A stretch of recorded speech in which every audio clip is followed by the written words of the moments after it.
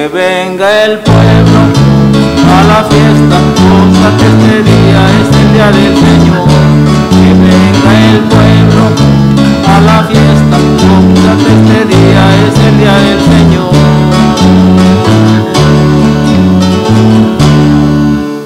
Creo que me equivoqué de misa. A lo mejor vine a un funeral y era la, y era la fiesta del Señor. Las veo todas así. Alguien se murió y no sé, y no supe.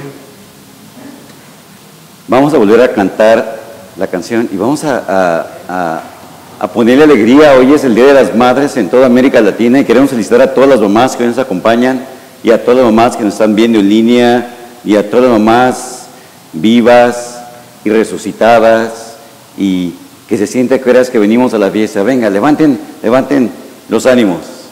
Este no es un funeral y si lo fuera también tendríamos que estar contentos porque estamos celebrando la fiesta de un hermano que ha resucitado el Señor. Venga.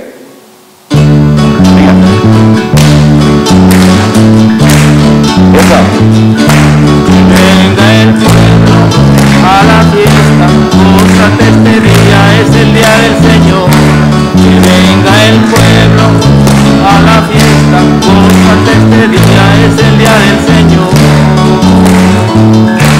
Cuando el pueblo canta, el Señor lo bendice, porque la alabanza es un signo de amor.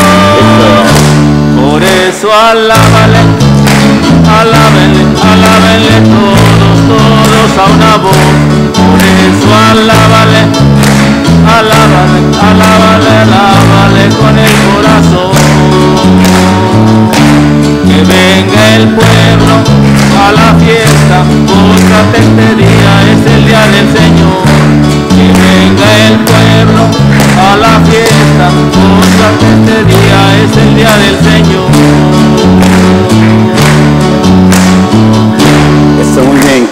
pueblo a la fiesta del Señor, es lo que queremos en cada Eucaristía, alegrarnos en nuestro Dios que nos salva, que hace realidad sus promesas en nosotros. Y hoy nos reunimos a orar por el eterno descanso de Celeria Rojas, Josefa González Rodríguez, María Victoria Bárcenas López, María Concepción Ochoa, Josefina López, y por la intención especial de Ramón Carachure y por todas las mamás, nuestra novena de mamás que tenemos aquí en el altar y por cada una de sus intenciones, dándole gracias a Dios por la vida y las, y las gracias que nos va dando. Vamos a preparar nuestro corazón, que habiendo celebrado el gran domingo ayer con toda la comunidad y haber recibido la gracia y bendición de nuestro Dios, hoy mismo realzamos esa gracia para seguir caminando con nuestro Dios que nos ha salvado.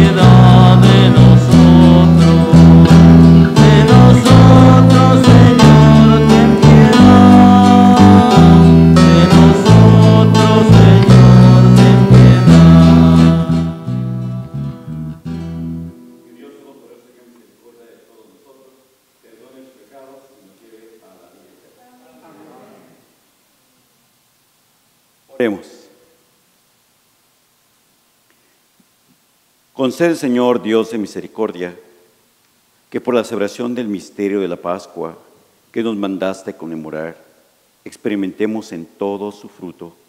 Por Señor Jesucristo, tu Hijo, que reina contigo en la unidad del Espíritu Santo y es Dios por los siglos de los siglos. Vamos a tomar asiento, hermanos y hermanas, para escuchar la palabra de Dios.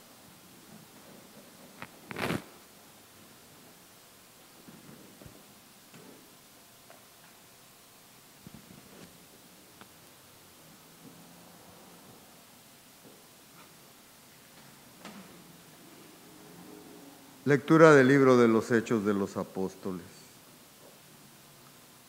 Por aquellos días zarpamos a Troade y navegamos rumbo a Samatrocia. Al día siguiente hacia Neápolis y de ahí a Filipos, colonia romana y ciudad principal de la región de Macedonia. En Filipos nos quedamos unos días. El sábado salimos a la ciudad y nos fuimos por la orilla del río hasta un sitio donde solían tenerse las reuniones de oración. Allí nos sentamos y trabamos conversación con las mujeres que habían acudido. Entre las que nos escuchaban había una mujer llamada Lidia, de la ciudad de Atiatira, comerciante en púrpura, que adoraba al verdadero Dios. El Señor le tocó el corazón para que aceptara el mensaje de Pablo. Después de recibir el bautismo junto con toda su familia, nos hizo esta súplica. Si están convencidos de que mi fe en el Señor es sincera, vengan a hospedarse en mi casa. Y así nos obligó a aceptar. Palabra de Dios. El Señor es amigo de su pueblo. Aleluya. Entonen al Señor un canto nuevo. En la reunión litúrgica proclámenlo en su Creador y Rey, en el Señor. Alégrese Israel, su pueblo santo. El Señor es amigo de su pueblo. Aleluya. En honor de su nombre, que haya danzas. Alábenlo con arpa y tamboriles. El Señor es amigo de su pueblo y otorga la victoria a los humildes. El Señor es amigo de su pueblo. Aleluya. Que se alegren los fieles en el triunfo, que inunde el regocijo en sus hogares, que alaben al Señor con sus palabras, porque en esto su pueblo se complace.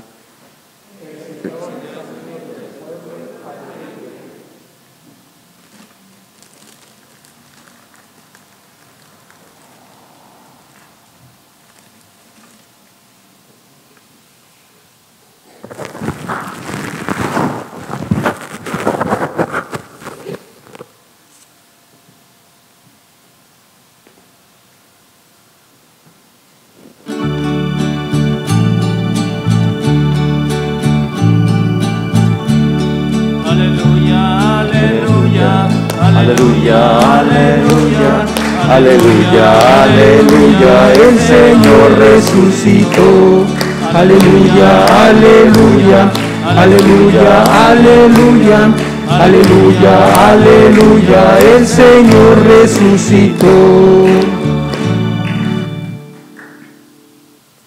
El Señor esté con ustedes. Lectura del Santo Evangelio según San Juan. En aquel tiempo dijo Jesús a sus discípulos, cuando venga el consolador, que yo les enviaré a ustedes de parte del Padre, el Espíritu de verdad que procede del Padre, Él dará testimonio de mí y ustedes también darán testimonio, pues desde el principio han estado conmigo.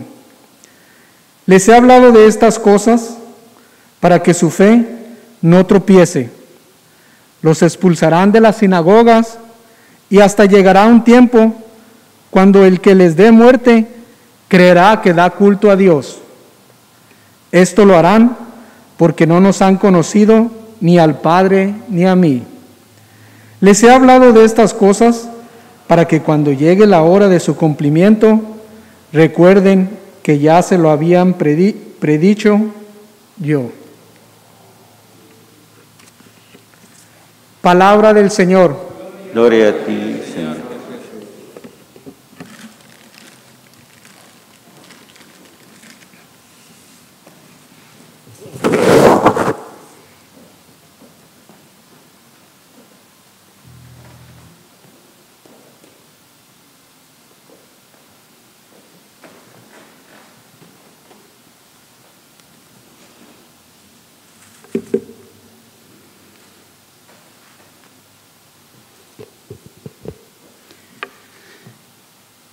Les he dicho estas cosas para cuando llegue la hora de su cumplimiento, recuerden que ya se los había dicho yo.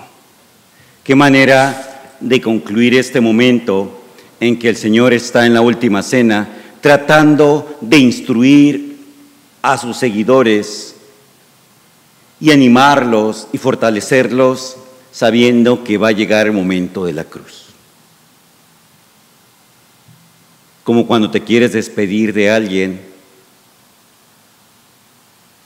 y quieres dejarle todo. Imagino como a un padre que se tiene que ir y ya no va a ver a sus hijos y quiere que sus hijos sepan todo lo que tienen que saber para que cuando él no esté sepan manejarse en situaciones de crisis y dificultad. Hoy la lectura del Evangelio de San Juan del capítulo 15 y versos 26 hasta el capítulo 16. Miren todo el discurso de la última cena que empieza en el capítulo 13 de San Juan. El Señor ha querido instruirnos mientras va caminando con nosotros en la Pascua.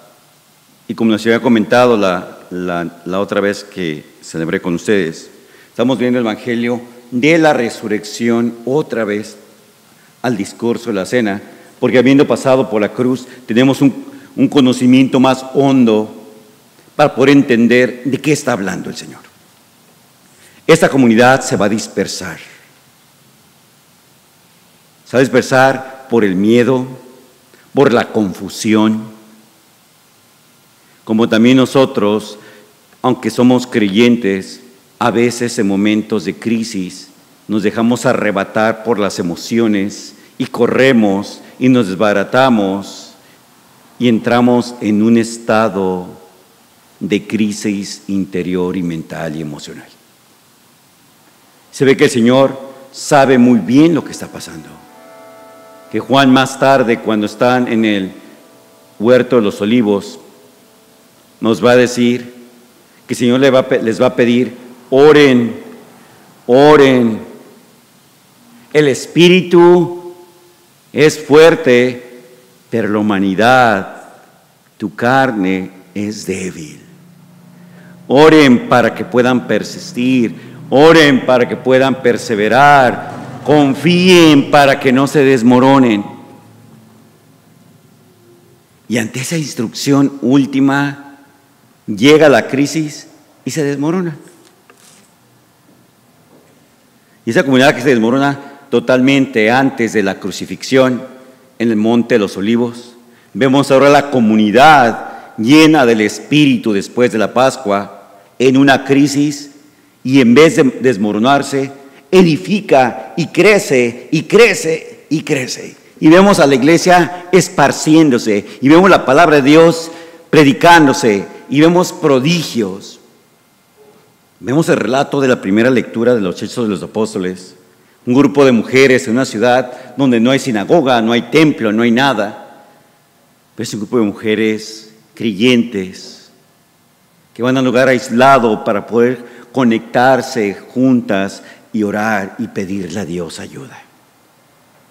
Y el enterarse Pablo de que hay fe, hay un grupo de personas que tienen lo necesario para edificar, edificar, edificar y edificar y cómo con esa poquita fe de la que habla el Evangelio, que se parece a la semilla de mostaza, que está bien pequeñita casi, todavía está más, es la mitad de una jonjolí. No sé si ustedes han visto la semilla de mostaza, pero es más chiquita que siquiera una jonjolí. Y si la fe de ese tamañito tiene el poder de transformar, imagínense la mitad de esa, de esa semillita. Y lo que le pasa a Lidia. Lidia creía en el Dios creador del mundo. Y a la que escucha a Pablo, hace unas conexiones y checa. ¿Cuántas veces hemos escuchado a veces la misma escritura? ¿Cuántas veces hemos escuchado mejor la misma reflexión? Y hay un momento en que algo pasa, que lo que se está haciendo, diciendo y reflexionando se conecta y se nos abre el, entendimiento. Ese es el propósito de la Pascua. Queremos como Lidia tener una fe que es capaz de entender, de abrirse. En un mundo tan hermoso en el que estamos y una crisis que ya va, ya va cerrando, ya va cerrando. Ya esto ya se acabó. La verdad que ya se acabó cuando en principio no le veíamos pies ni cabeza. Era una crisis y una confusión. Ya todo el mundo está abriendo, hay dificultades, sí, pero ya estamos más de salida que cuando comenzamos el año pasado, ¿se acuerdan? Al principio comenzamos y, no sabíamos qué pasaba. No entendíamos qué onda con ese virus, no sabíamos qué pasar. Y a la medida que empezó, empezó una ronda de muertes y demás, pero ¿quién estuvo con nosotros? El Señor. Se ha caminado con nosotros. Y por eso el Señor en su palabra nos recuerda y nos dice, les digo esto para que cuando suceda, no se quebren, no se dispersen, no dramaticen, no corran, confíen. Aquí la mensaje para ahora para nosotros es la confianza que tenemos que tener. Y fíjense, bien curioso en la primera lectura de los hechos. Lidia al escuchar a Pablo confía en lo que Pablo le está diciendo y abraza lo que está diciendo Pablo. Y luego, al abrazar la fe y bautizarse, y Pablo al ver cómo son receptores del Espíritu Santo, ahora ella reta a Pablo para que confíe en ella. Y le dice, si de veras crees que soy una creyente digna de la fe que he recibido, del bautismo que he recibido, de la palabra que me has predicado, ven a mi casa. ¿Cuál era el reto? No solamente era aceptar una invitación. Pablo, acuérdense que era fariseo, y sí, ya se ha convertido al cristianismo y predicaba a Jesucristo. Pablo era consciente de la conmoción que se generó en la comunidad de Jerusalén cuando Pedro entró a la casa de Cornelio, que era un no judío, y a la hora que Pedro le predica a Cornelio y baja el Espíritu Santo en todos aquellos que estaban en esa casa y son transformados, dice Pedro, ahí fue donde yo entendí que Dios no hace ya ninguna diferencia entre judíos y no judíos. Los destinatarios de la alianza con Abraham, con todo el mundo. Y ustedes pueden ver cómo al inicio de los hechos apóstoles en la iglesia de Jerusalén, la comunidad de judíos hizo un gran escándalo diciendo que cómo se le había ocurrido a Pedro entrar en la casa de un no judío, de un pagano. Y Pablo había estado ahí. Y Pablo les explicó y le pidió a Pedro que explicara lo que había pasado. Y como siempre, lean los hechos y Pedro se acobarda y Pablo en la carta a los Gálatas dice que agarró a Pedro, lo aventó hacia la pared y le dijo, dile a Santiago lo que experimentaste y lo que viste. Porque Santiago, la iglesia de Jerusalén, querían imponer la circuncisión en los paganos. Y era, te tenías que ser judío y después de judío te tenías que ser cristiano. Y parecía, Dios no quiere eso para nosotros. O somos o no somos, o estamos o no estamos. Y entonces Pedro platica la experiencia de entrar a la casa de Cornelio. Pero Pablo se dio cuenta de todo el drama y problema que generó porque Pedro había entrado a la casa de Cornelio. Y estoy seguro que cuando Lidia, Lidia le dice a, a Pablo, si de veras crees que soy receptora del Espíritu Santo, si de veras crees y afirmas que soy creyente, ven a mi casa. Estoy seguro que Pablo por lo menos se dio dos tragos de saliva antes de decir sí, porque sabía que al entrar a la casa de Lidia, siendo una mujer no judía, se podía meter en problemas con el resto de las comunidades. Pero el ser creyente es eso, tomar riesgos. Porque si nosotros no vivimos lo que predicamos, y esto que hemos leído se queda solamente, ay, qué bonitas palabras, el Padre habla bien bonito, pero ya, pues no, no vengo aquí a hablar bonito, vengo a moverle la conciencia y el corazón para que nos demos cuenta que la fe es un movimiento, es una dinámica.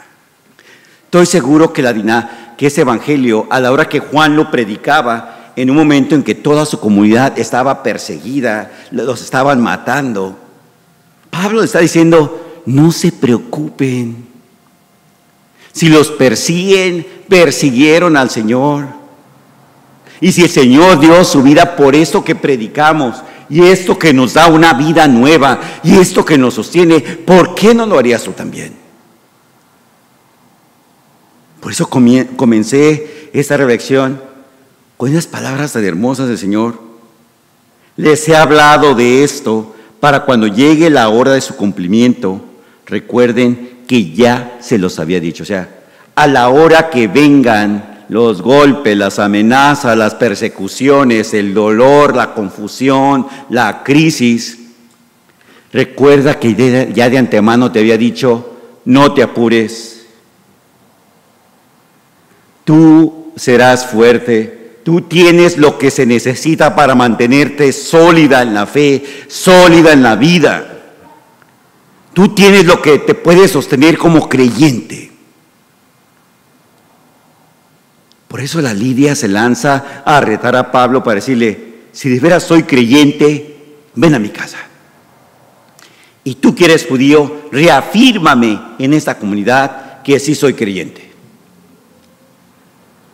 Así nos toca reafirmar a nuestros hermanos.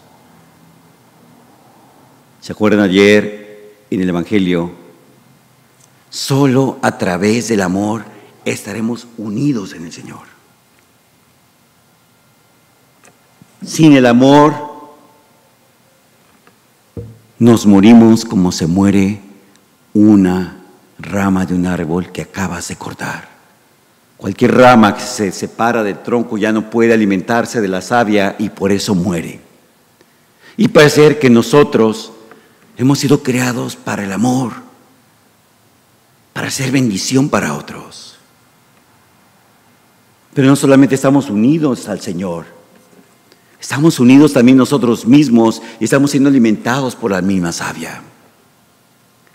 Por eso una comunidad como la nuestra, que la iglesia, no entra en crisis ante las dificultades. Si hay crisis en tu hogar, tú tienes que decir, cálmense, cálmense, ¿a qué viene tanta conmoción? Si hay un problema, vamos hablando y lo resolvemos. Y si no sabemos cómo, pues vamos orando y pidiéndole a Dios que nos guíe, a alguien que podamos preguntar, a informarnos, a buscar soluciones. No tenemos que ver ahí, ¡ay! a gritar.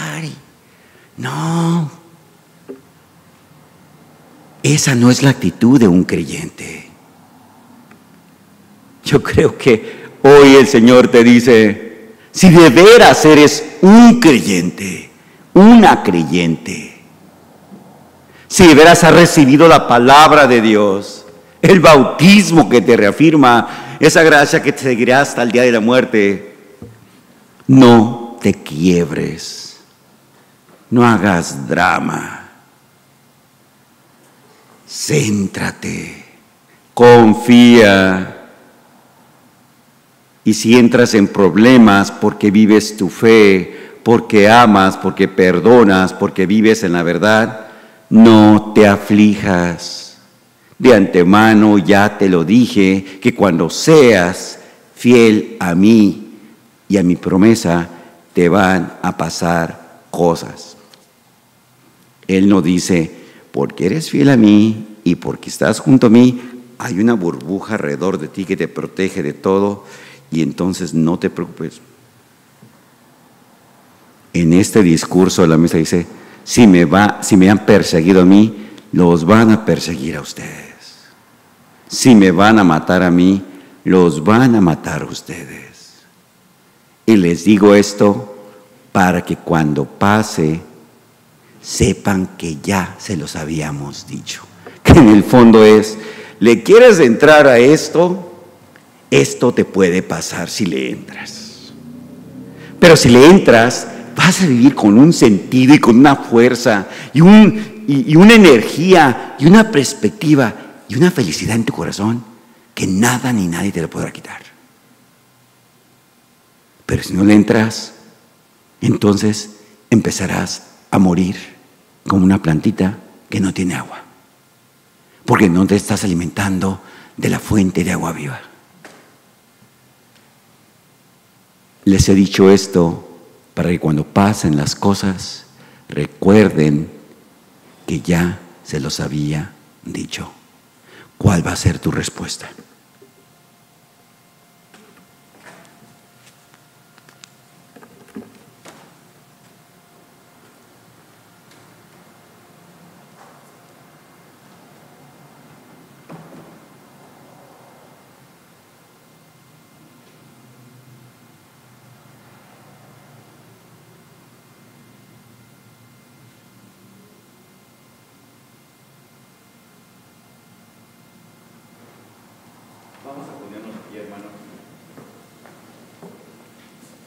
Y vamos orando juntos por cada uno de ustedes que son como Lidia, discípulas del amor, discípulas de la fe, para que el Señor las siga haciendo florecer en sus hogares, siendo testigos y testigos de la fe en este mundo que necesita gente como nosotros con esperanza, con alegría, con sentido, con bondad, con amor.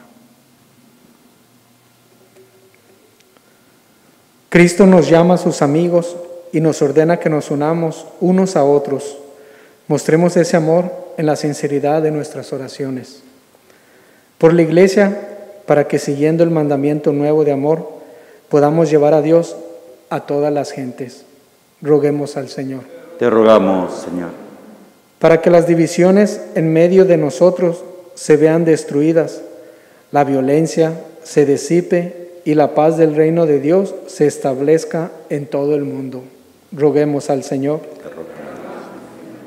Por todas las madres, para que mediante la intercesión de la Madre de Dios, el Señor las llene de bendiciones por la abundancia de su amor y de sus sacrificios. Roguemos al Señor. Te rogamos. Por la gracia esta semana de mantener en nuestros pensamientos los mandamientos de Jesús, tanto en su palabra como en nuestras acciones, roguemos al Señor. Te rogamos, Señor. Por los enfermos y los fieles difuntos a quienes mencionamos en silencio,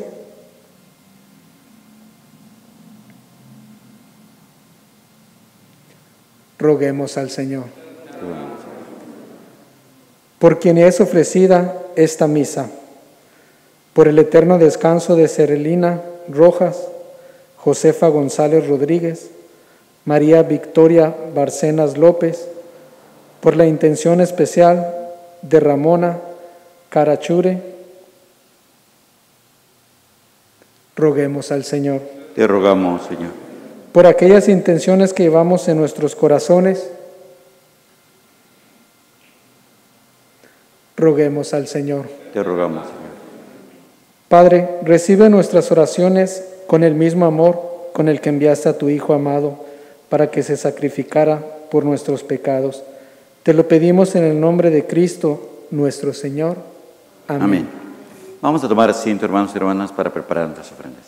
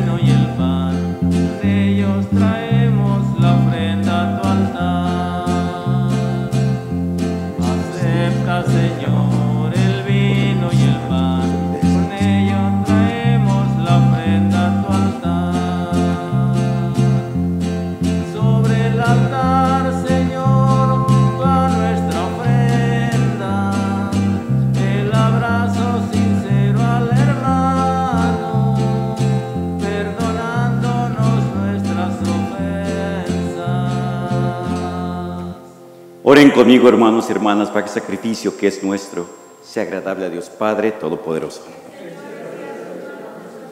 Para alabanza y gloria de su nombre, por nuestro bien y de toda su santa iglesia. Subas a ti, Señor, nuestra oración, acompañada por estas ofrendas, para que purificados por tu bondad nos dispongas para celebrar el sacramento de tu inmenso amor. Por Jesucristo nuestro Señor. Y que el Señor esté con ustedes. Levantemos el corazón. Demos gracias al Señor nuestro Dios. Voy a rezar para ustedes y con ustedes la oración eucarística que se titula La Iglesia en Camino de la Unidad. Espero que los inspire.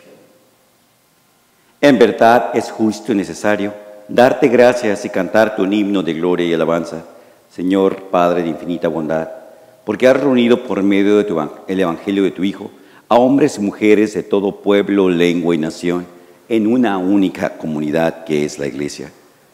Y por ella, vivificada por la fuerza del Espíritu Santo, no dejas de congregar a toda la humanidad a la unidad y a la comunión.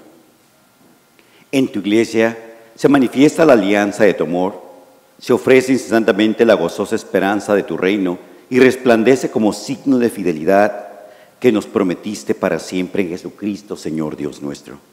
Y por eso con todas las potestades del cielo y con toda la iglesia te aclamamos en la tierra diciendo a una sola voz.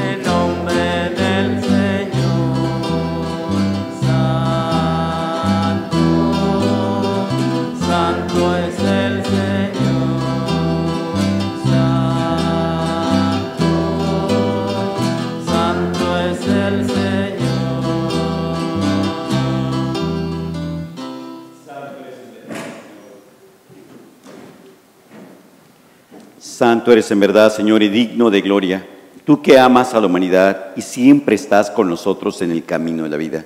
Bendito en verdad es tu Hijo que está presente en medio de nuestra comunidad cuando somos congregados por su amor. Y como hizo otro tiempo con discípulos, Él nos explica las escrituras y parte con nosotros el pan.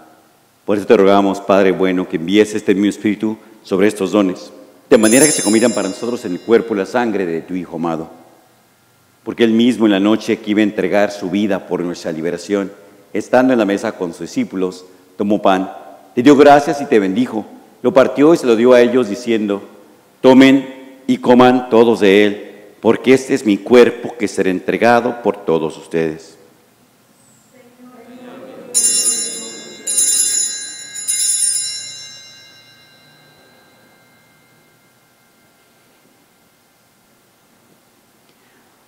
Del mismo modo, acabada la cena, tomó el cáliz y dándote gracias, Padre nuevo, tomó la copa y se la dio a sus discípulos, diciendo, tomen y beban todos de él, porque ese es el cáliz de mi sangre, sangre de la alianza nueva y eterna, derramada por todos ustedes para el perdón de sus pecados.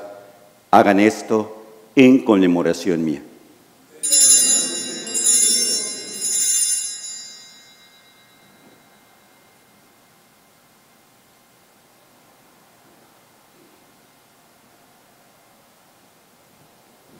Hermanos y hermanas, desde que anoche este ha sido el sacramento de nuestra fe. Proclamamos tu resurrección. Ven, Señor Jesús. Amén. Así pues, Padre, al celebrar el memorial de Cristo, tu Hijo, nuestro Salvador, al que guiaste a su pasión y muerte en la cruz, a la gloria de la resurrección, y lo has sentado a tu derecha, anunciamos la obra de tu amor hasta que Él venga, y te ofrecemos este pan de vida y este cáliz de salvación. Mira con bondad la ofrenda de tu iglesia en la que hacemos presente el sacrificio pascual de tu Hijo que nos ha confiado, y concédenos que por la fuerza de tu Espíritu Santo estemos siempre en la unidad y ser siempre contados entre el número de los miembros de tu Hijo, cuyo cuerpo y sangre recibimos. Padre, nueva tu iglesia de San Francisco a la luz de tu Evangelio y consolida vínculos de unidad y de amor entre todos tus fieles y tus pastores, con nuestro Papa Francisco, nuestros obispos Roberto, John y Ramón, y todo el orden episcopal, para que todo tu pueblo brille en este mundo dividido por las discordias como un signo profético de unidad y de paz. Acuérdense, hermanos, se durmieron en la paz de Cristo. Por dos hermanos, por cuya hoy celebramos esta misa, por todas las mamás aquí en nuestra novena, por los seres queridos que tanto amamos y extrañamos y están gozando de la eternidad prometida a todos. Y cuando termina nuestra prisión por este mundo, llámanos también a nosotros para estar contigo en comunión con la Virgen María, Madre de Dios, tus apóstoles, tus santos, San Francisco de Asís y Santa Clara, y todos aquellos que te han glorificado y servido a través de los tiempos, podamos junto con ellos alabarte y glorificarte en Cristo Señor Dios nuestro. Por Cristo, con Él en Él, a ti Dios Padre Omnipotente, en la unidad del Espíritu Santo, todo honor y toda gloria por los siglos de los siglos. Vamos a ponernos de pie, hermanos. Y ese amor que nos une a la fuente del amor que es Dios mismo a través de su Hijo y su Espíritu, como auténticos hijos, hijos con el Hijo y hermanos unos de, otros, vamos a dirigirnos a nuestro Padre diciendo, Padre nuestro que estás en el cielo, santificado sea tu nombre, venga a nosotros tu reino, hágase tu voluntad en la tierra como en el cielo. Danos hoy nuestro pan de cada día y perdona nuestras ofensas como también nosotros perdonamos a los que nos ofenden. No nos dejes caer en la tentación y líbranos del mal. Líbranos, Señor, de todos los males y concédenos la paz de nuestros días, para que, ayudados por tu misericordia, vivamos siempre libres de pecado y protegidos de toda perturbación, mientras aguardamos la gloriosa venida de nuestro Salvador Jesucristo. Tuyo es el reino, tuyo el poder y la gloria por siempre, Señor. Que la paz, Señor, esté con todos ustedes.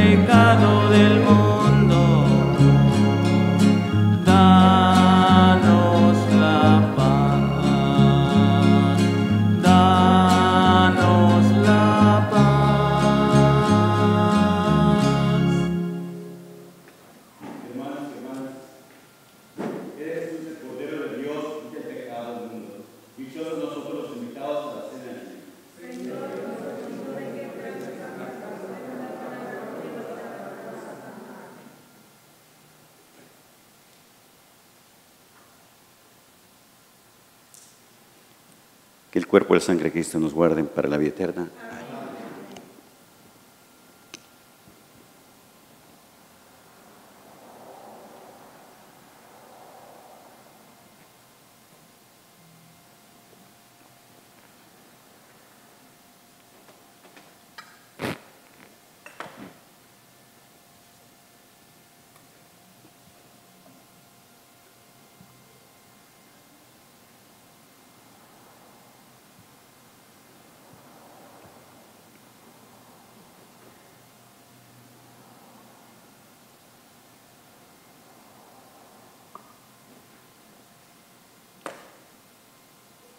Los invito, hermanos y hermanas, a que se unan conmigo a hacer la oración de, comunión espiritual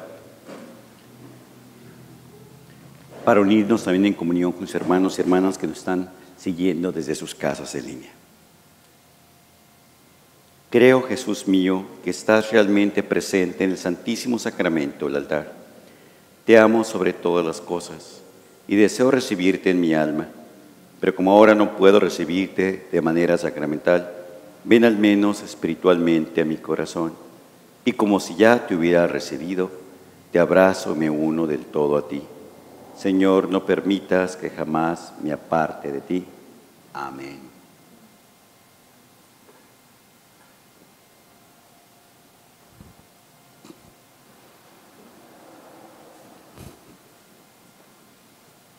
Oremos.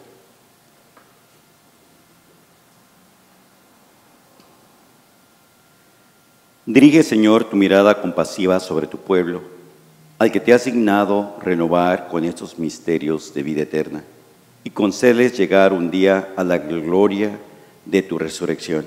Por Jesucristo nuestro Señor. Pues desearles pues, felicidades a las mamás. No sé, amigos, si podemos cantar las mañanitas a las mamás que están presentes aquí.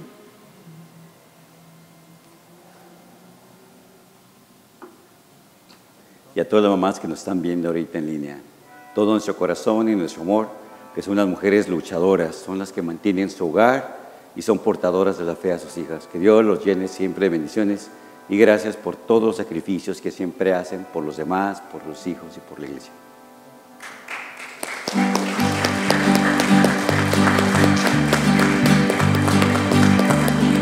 Venga, vamos cantándole esta fiesta.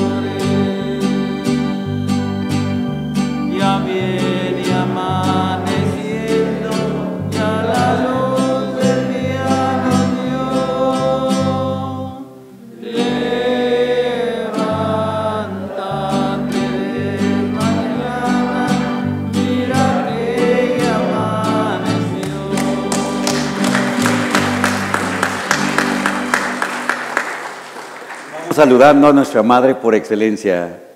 Dios te salve María, llena eres de gracia, el Señor es contigo. Bendita eres entre todas las mujeres y bendito sea el fruto de tu vientre Jesús. Santa María, Madre de Dios, ruega Señora por nosotros los pecadores, ahora y en la hora de nuestra muerte. Amén. Ruega por nosotros, Santa Madre de Dios, para que podamos alcanzar este es el Señor Jesucristo. Amén. Y que el Señor esté con ustedes. Y que Dios los bendiga, los protege, los guarde, Padre, Hijo y Espíritu Santo. Amén. Podemos ir en paz para amar a nuestros hermanos a través de nuestro servicio. La celebración ha terminado. Que Dios los bendiga y tengan una feliz cena.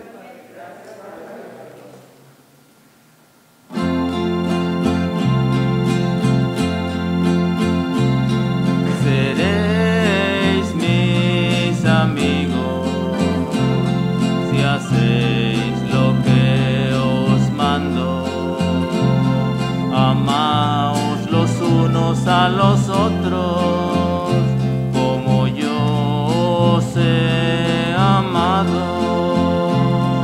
Amaos los unos a los otros como yo os he amado. Vosotros que sois mis amigos, luchad por un mundo mejor